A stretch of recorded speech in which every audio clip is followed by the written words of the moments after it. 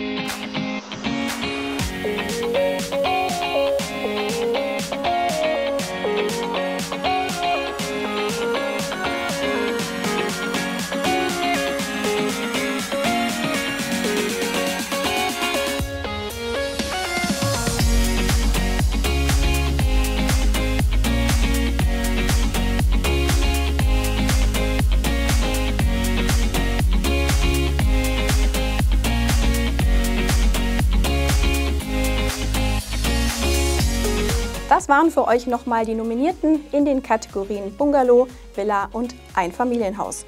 Wer hat euch am besten gefallen? Über den Link in der Description, da kommt ihr zur Abstimmungsseite und denkt bitte dran, dass ihr eure E-Mail-Adresse nochmal bestätigen müsst, damit a. eure Stimme gezählt wird und b. ihr auch die Chance auf eins von 20 Hausbauhelden-Shirts habt. Und wie immer gilt, wenn euch das Video gefallen hat, dann lasst uns gerne ein Like da und abonniert auch den Kanal und aktiviert unbedingt die Glocke, denn dann verpasst ihr keins unserer Videos mehr.